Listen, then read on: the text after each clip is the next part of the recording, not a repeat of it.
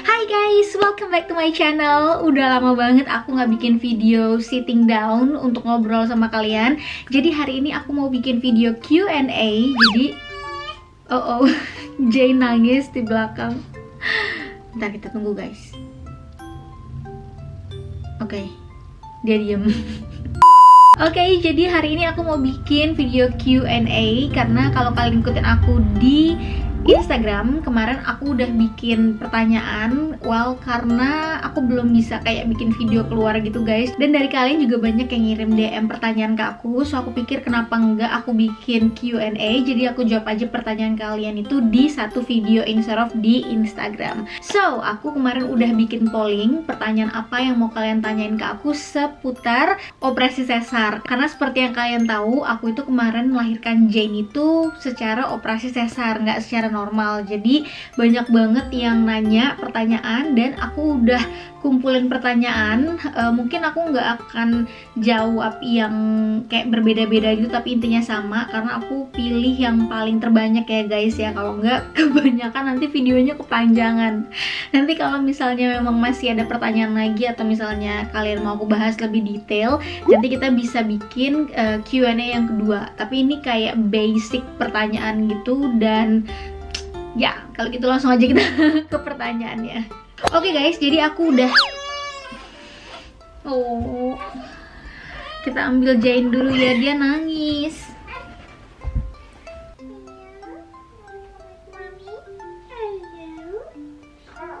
Hai guys, Jane ada di sini.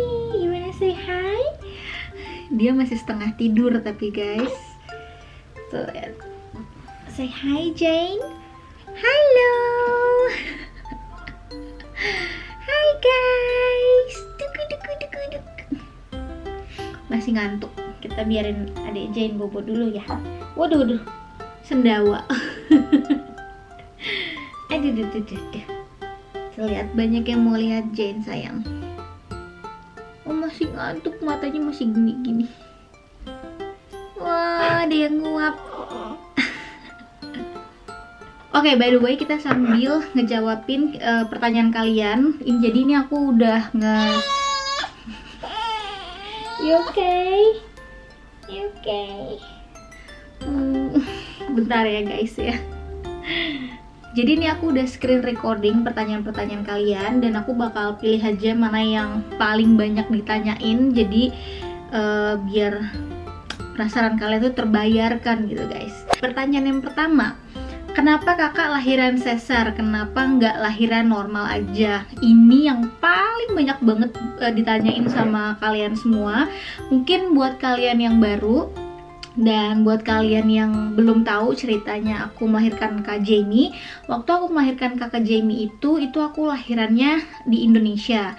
Dan waktu itu aku lahirannya sesar, walaupun pertamanya kita udah coba normal, tapi karena udah dicoba dan akhirnya air ketubannya udah pecah, juga udah pembukaan dan udah ditunggu sampai satu malam dan tetap nggak ada kemajuan, akhirnya dokter menyarankan untuk operasi sesar. Nah itu waktu itu di Indonesia dan waktu itu aku sempat kena infeksi dua kali guys. Nah karena aku sempat kena infeksi jadinya penyembuhannya itu lama banget deh. Waktu itu mungkin sekitar setahunan lebih bahkan sampai sekarang aja tuh masih kayak nyut-nyutan gitu. Bukan sampai sekarang sampai sekarang kan ini udah operasi yang baru ya. Cuman maksudnya sebelum aku operasi yang kedua itu tuh operasi yang pertama aja masih kayak nyut-nyutan. Nah setelah aku pindah ke Inggris dokter yang di Inggris itu akhirnya ngeliat kan ini bekas lukanya sesar yang pertama.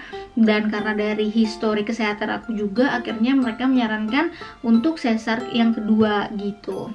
Jadi memang udah disarankan sama dokter gitu bukan aku yang minta gitu. Jadi itu dia alasannya kenapa aku juga sesar untuk yang lahiran kedua ini. Tapi bukan berarti yang pertama sesar yang kedua juga harus sesar. Karena di sini juga teman-teman aku tuh banyak yang pertamanya mereka lahirannya sesar terus yang keduanya normal gitu.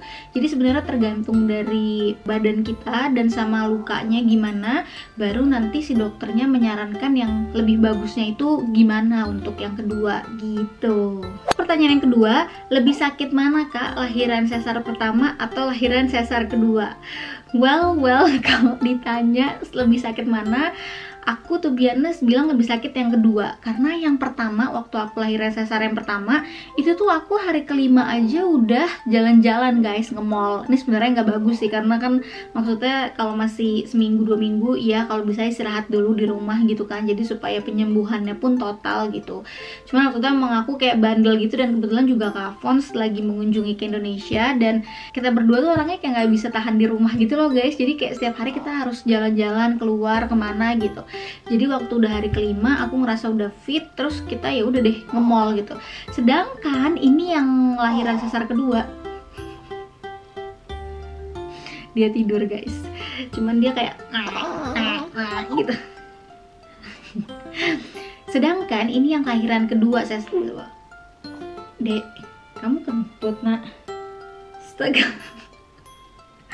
Sedangkan sesar yang kedua ini, ini aku kemarin stay di tempat tidur sampai hari ke 7 dan ke 8 dan itu emang bener-bener sakit banget. Dan aku yang sampai nangis guys bener-bener yang pas udah nahan si sakit ini sampai bener-bener yang kayak aduh sakit banget tinggal kuat sampai yang kayak gitunya. Emang sih toleransi sakit aku tuh nggak tinggi tapi biasanya aku tuh masih kayak bisa lah gitu nahan gitu. Apalagi kalau kita udah lihat babynya kan. Ini tuh kemarin yang operasi yang kedua pas udah lihat Jane aja tuh masih kayak aduh tetap sakit masih nangis gitu. Tapi itu cuma sampai hari ke-8 sih. Setelah hari ke-8 aku dikasih obat yang lebih uh, tinggi lagi dosisnya dan dari situ udah lumayan enak gitu dan emang dokternya juga udah bilang sih ini yang kedua bakal lebih sakit karena kita bakal buka dari jahitan yang pertama. Jadi bayangin aja luka yang udah pernah ke beset gitu terus dibuka lagi terus dijahit lagi jadi otomatis penyembuhannya akan lebih lama dan akan lebih perih kata dokternya. Jadi memang betul kenyataan guys. Pertanyaan yang ketiga Kabela nervous nggak pas deket-deket mau operasi sesar ya pastilah guys. Pasti aku nervous banget. Cuman aku uh, excited. Walaupun aku takut walaupun aku deg-degan tapi aku excited dan aku bersyukur karena aku bisa didampingin sama Kak Fons. Karena waktu operasi yang pertama waktu operasi kakak Jamie itu aku nggak didampingin sama Kak Fons. Jadi aku bener-bener masuk ke ruang operasi sendirian dan baru ketemu sama si Kak Fons itu setelah aku masuk ke kamar uh, apa ya setelah operasi gitulah yang kamar untuk penyembuhan. Nah sedangkan yang operasi kemarin itu Kak Fons bisa menemani aku mulai dari awal awal sampai akhir. Jadi ibaratnya gimana ya? Ibaratnya tuh kita tuh kayak ada other half kita di samping kita ada yang menyemangati kita ada yang menguatkan kita. Jadi kalaupun aku nervous ya aku lihat dia jadi kayak tenang gitu gitu. Jadi walaupun nervous tapi nggak sampai yang aduh gimana gini gitu enggak sih cuman yang kayak deg-degan aja kayak aduh aku udah tahu nih nanti masuk ruang operasi disuntik terus nanti uh, dibelek terus nanti harus tunggu berapa lama bayinya udah diangkat itu tuh kayak udah ada gambarannya jadi aku kayak deg-degan aja sih gitu tapi aku excited Oke, okay, next pertanyaannya, Kabela waktu dioperasi sesar itu kok masih bisa bangun dan masih bisa ngeliat adeknya? Emangnya nggak dibius kak? dibius lah cinta, kalau nggak dibius aku mungkin udah wah udah nggak nggak ngerti lagi. Udah kayak film horor kali ya kalau nggak dibius terus tiba-tiba dibelek diambil babynya dari dalam perut. Ah. jadi waktu operasi kemarin aku itu dibius cuman kita itu biusnya nggak bius total yang sampai bener-bener tidur gitu nggak. Jadi kita cuman dibius itu dari belakang itu disuntikin di tulang punggung ya kalau nggak salah ya. E, namanya kalau nggak salah spinal apa gitu aku lupa deh. Pas dokter yang ngejelasin aku yang udah oke okay, oke okay, oke okay, cepetan dok gitu. Jadi udah nggak terlalu fokus lagi tapi waktu dia uh, apa namanya suntikin itu yang di tulang punggung yang di belakang sini itu aku langsung gak berasa lagi mulai dari bagian dada ke bawah. Jadi mulai dari dada ke sini dan di bawah dada, dada sini mana sih dadaku? Nah ini dari sini. Oh, I'm sorry. Oh, I'm sorry. Oh I'm sorry. I'm sorry. Oh, uh, kecian um, iya iya. Sayang mami sayang mami sayang mami. It's okay it's okay mami is here. It's okay it's okay. Oh sayang mami sayang mami sayang. Ntar ya guys ya. Ah sayang. It's okay pokoknya udah dibius itu udah tiba-tiba mereka kan operasi tuh 10 menit 15 menit kemudian. Habis itu tiba-tiba babynya udah diangkat aja dari dari perut aku gitu. Jadi aku nggak ada yang merasakan sakit atau gimana gimana gitu. Oke pertanyaan selanjutnya. Waktu Kabela operasi Kak Jamie ada di mana? Ya jadi waktu waktu aku operasi itu Kak Jamie kan nggak boleh ada di rumah sakit itu cuman ada boleh si dedinya tapi Kak Jamie nggak boleh stay di sana jadi kita titipin kakak Jamie itu di tempat opa sama omahnya gitu jadi pas kita udah pulang ke rumah baru kakak Jamie juga diantar ke rumah deh gitu Oke, okay, next question. Kak, apakah setelah satu minggu sesar sudah bisa beraktivitas di rumah seperti biasanya masak, ngurus anak, DLL? Well, kalau aku sih yang kelahiran pertama udah bisa ya, tapi untuk kelahiran yang kedua ini belum bisa dan kemarin uh, aku juga masih stay di tempat tidur itu satu minggu. Jadi aku bisa berjalan bukan berjalan sih maksudnya kayak balik lagi ke aktivitas itu setelah satu setengah minggu pasca operasi. Tapi itu juga belum boleh angkat berat-berat selama enam minggu. Terus juga e, kalau naik turun tangga itu harus pelan-pelan biar jahitannya juga nggak kebuka lagi. Pokoknya masih harus hati-hati banget lah gitu. Si kecil-kecil juga mau ikutan ngomong mami oh dia juga mau ikutan ngobrol tuh lihat Oke, okay, next question. Kak, berapa jam proses ngeluarin Jane?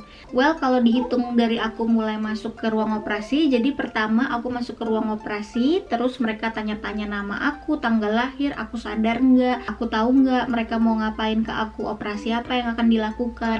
Terus 15 menit kemudian, mereka pasang itu bius di belakang aku di tulang punggung.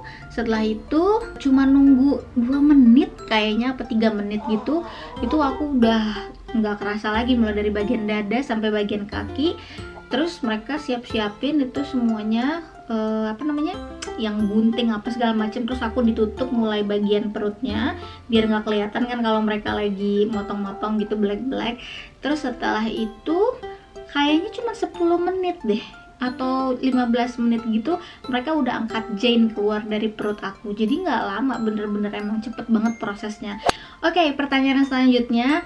Kak nginap nggak bisa ya lewat dari tiga hari di rumah sakit Um, jadi kalau di Indonesia itu aku nggak tahu sistemnya gimana yang sekarang, tapi waktu aku zamannya melahirkan Jamie itu tahun 2021 di oh no no. Kok 2021 ya ampun guys. Aku tuh kalau masalah tahun tuh selalu salah. Jadi uh gemes deh. Jadi aku waktu melahirkan Jamie 2017 itu uh, aku melahirkannya di rumah sakit Siloam di Jakarta. Nah itu waktu itu aku bisa pilih mau berapa. Oh sayang. Sayang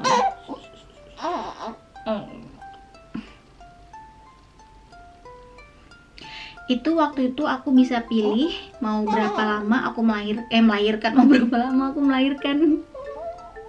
Aduh gara-gara Jane mami salah ngomong. Maksudnya mau berapa lama stay di rumah sakit? Aku bisa pilih mulai dari 4 hari 3 malam sampai satu minggu. Jadi tergantung kita mau bayarnya berapa gitu.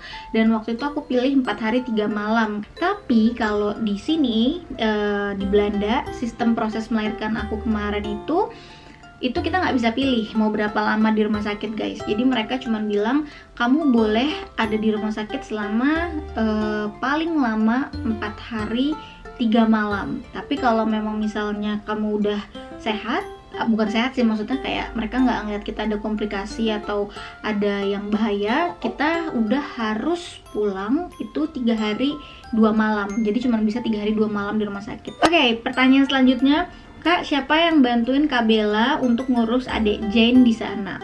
Well, well guys, jadi kalau kalian tinggal di Eropa itu kalian harus punya mental dan jiwa yang mandiri karena kalau enggak to be honest akan kesusahan sendiri dan akan stres sendiri. Karena kayak di sini tuh kita nggak punya mbak karena kalau kita menggaji atau mempekerjakan orang untuk menjaga Jane itu kita harus bayar per jam. Karena gaji orang di luar negeri itu well Eropa, mostly Belanda itu tuh dia bayar tuh per jam, bukan per bulan kayak di Indonesia. Kalau di Indonesia kan kita tinggal ke yayasan, terus kita tinggal uh, cari babysitter paling kita bayar uang pengambilan babysitter dan uang gaji dia untuk per bulan. Sedangkan kalau di sini kalau aku mau pekerjakan babysitter itu itu gajinya tuh per jam.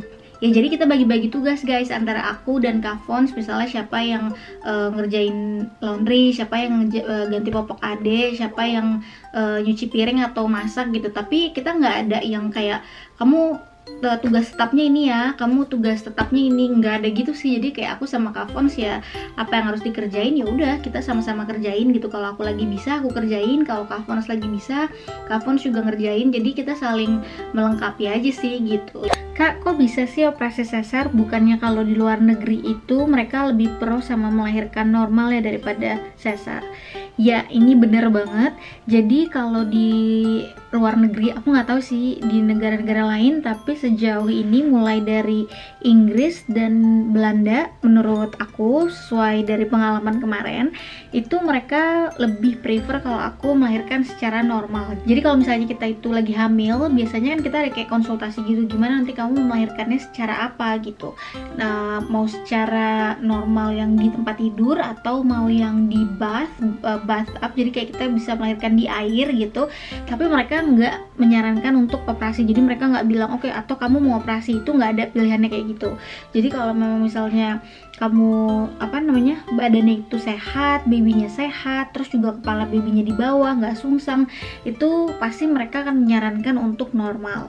Nah beda sama case-nya aku kemarin. Kalau aku case-nya memang karena aku itu udah dilihat dan yang karena yang pertama juga operasi, jadi mereka uh, cek dulu itu lukanya dan histori kesehatan aku itu kenapa makanya aku tanpa ditanya mereka udah langsung bilang oke okay, kamu operasi gitu. Tapi kalau orang yang normal maksudnya sehat-sehat aja uh, yang pertama terus juga terus juga belum pernah operasi sesar pasti mereka akan menyarankan uh, untuk normal gitu. Sampai nanti detik-detik terakhir kita yang kayak udah udah udah bener-bener nggak bisa lagi emang itu ngepushnya untuk ngeluarin si babynya baru kita dibawa ke uh, ruang operasi untuk sesar. Tapi itu tuh yang kayak jarang banget gitu guys. Karena bahkan teman-teman aku aja yang lahirannya tuh udah sampai detik-detik terakhir yang udah sampai aduh udah gak kuat gak kuat. Kayak gitu aja tuh masih bener-bener di push ayo kamu bisa kamu bisa. Kayak gitu. Jadi memang mereka lebih pro sama lahiran normal daripada sesar gitu. Oke, okay, ini adalah pertanyaan yang paling banyak banget ditanyain sama kalian.